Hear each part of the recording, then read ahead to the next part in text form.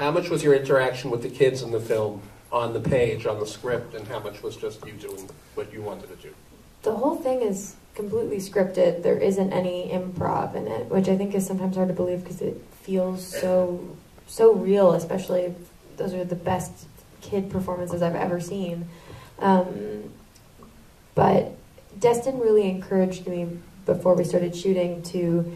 take on the role of, of leader, just like how Grace is in control of the kids in in the film, to do that off screen as well, and to position myself as someone that these kids can look up to, and, and, and that was a very easy thing that happened kind of naturally, just because I'm the oldest person that's an actor on set, and I'm in scenes with all of them, um, and it also it was great because it gave me this um, this feeling that I was being observed, and I very much remember because I started acting when I was really young that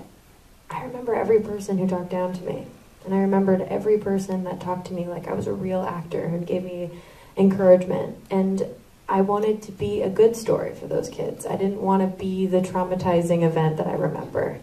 and so I put all of my past experiences into it and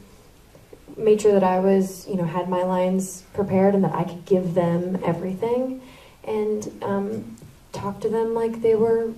real working actors, which they are.